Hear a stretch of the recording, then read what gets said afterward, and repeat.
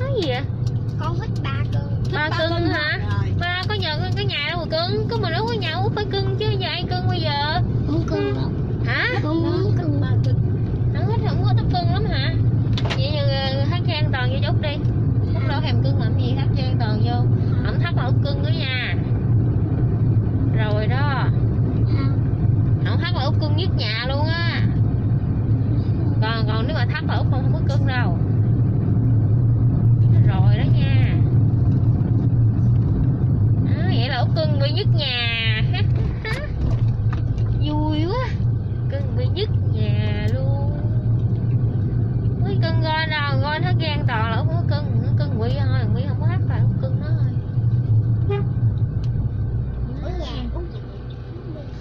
Ừ đúng rồi. Cho nên bây giờ hả không có cho nó hát gian toàn. Ăn hết rồi chứ con? Hết một hát không? gian toàn là út phải cưng nó Hết không? thôi bây giờ sao giờ? Hết ổ không? Ha bi ha. Còn vậy còn nhà ha. Còn bi đã hết Được rồi không? đây không luôn. Rồi được nó không bi? Hả? Ý, không có mấy bò bự dữ hả? Trời ơi. Thôi coi nó mấy con bò bự ướt một con đâu? Bên kia kìa. Trời ơi. Bự chùm bá luôn Không hát gian toàn hả Cái cửa nó xúc nó rớt đất lỗ bỏ luôn nha phía trước đó nha. Nó nó giỏi quá. Phá cửa lại rồi Phá đâu phá. Nó tung một cái là văng cánh cửa ra nè. Cái rớt còn bị xuống dưới là ổng bỏ luôn á.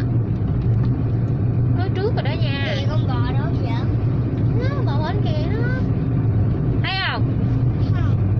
Chạy qua ống tiêu rồi nó chút về về về, về xong chỉ cho nha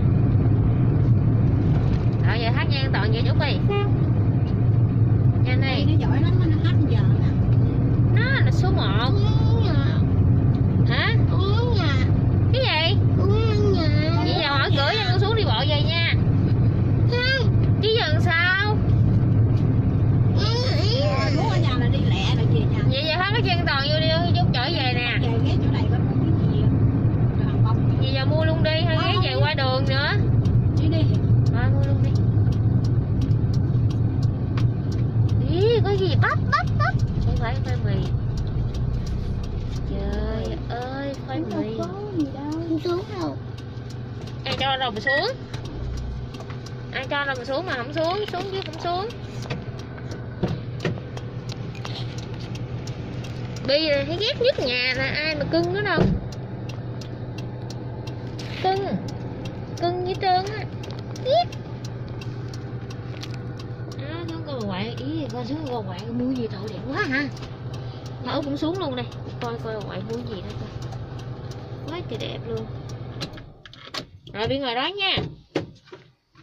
Không thúi ngồi đó không mặt trắng. Được không? Ngồi đó nha